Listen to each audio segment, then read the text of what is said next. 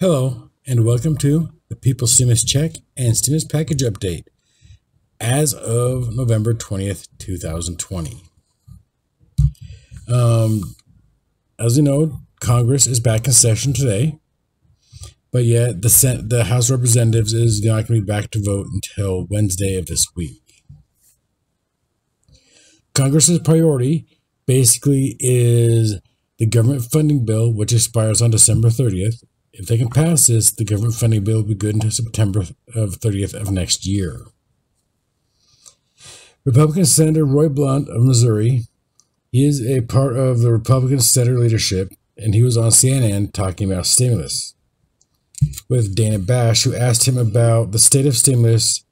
And, and in fact, you know what?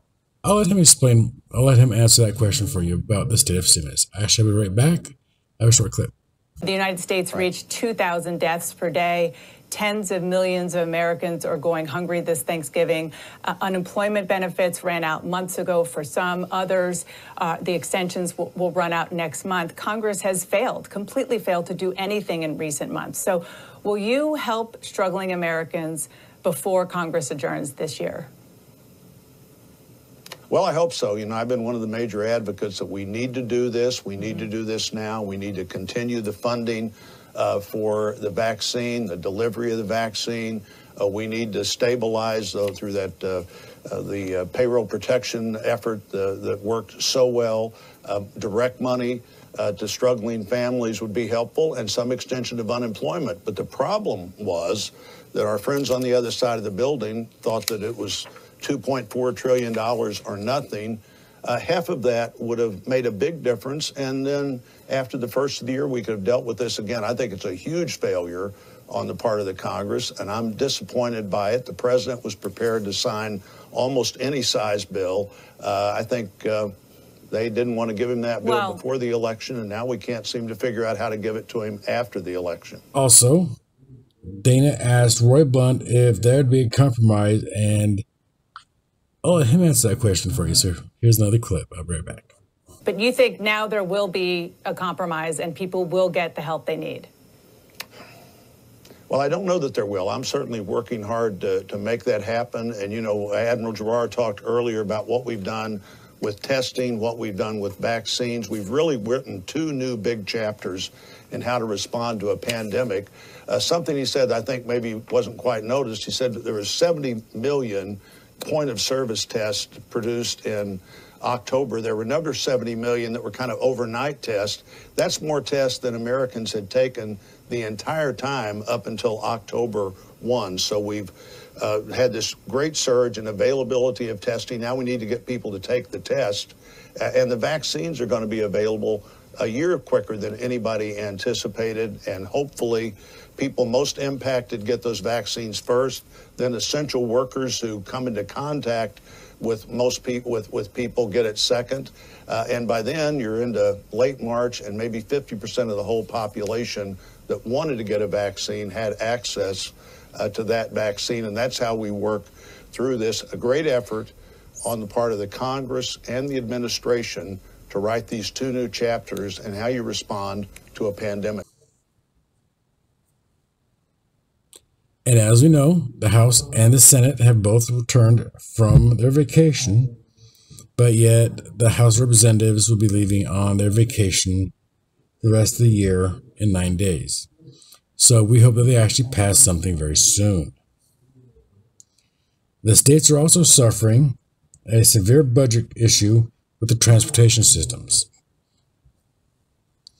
Public transit is being hit hard as passenger riding them, passengers riding them are becoming very scarce. That goes for the, the um, basically buses, trains, subways. The passenger ridership is actually dropped by 43 or more percent for those uh, particular industries. And let's see here. The first dose of the Pfizer's vaccine arrived at Chicago's O'Hare Airport on Saturday, packed in 15,000 pounds of dry ice because it has to be stored at 94 negative 94 degrees Fahrenheit to actually still make it good. And like I said, as we know, the House and the Senate has returned back to work. today, basically. But in nine days, the House will go back on vacation for the rest of the year. Well, till the end of the year, which will be the rest of the year, basically. and the Senate will go on vacation in 14 days for the rest of the year as well.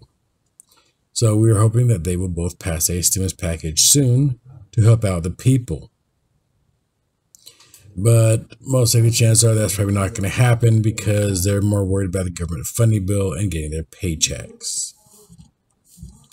And at the end of the year, on December 31st, the extended unemployment benefits will expire as well as for 30 million Americans, the eviction protection will also be gone, as well as student loan payments will resume.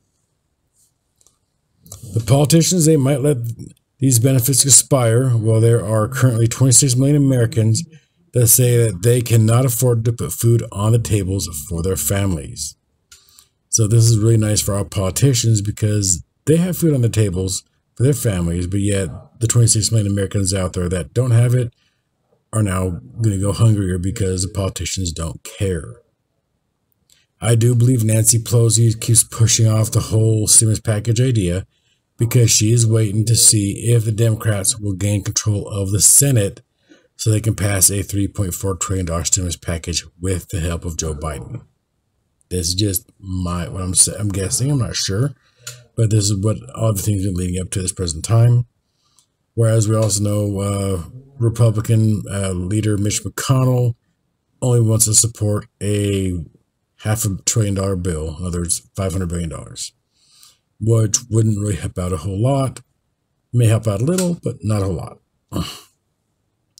This morning, the lower ranked politicians, both Republicans and Democrats, are trying to kickstart the stimulus negotiations, but are meeting oppositions because they are lower ranked and the, the upper ranked uh, Republicans and Democrats, such as their leaders, don't want to have nothing to do with that yet because Nancy Pelosi is standing firm at her revised HEROES Act at $2.4 trillion, where Mitch McConnell is like, yeah, you're not getting me above $500 billion.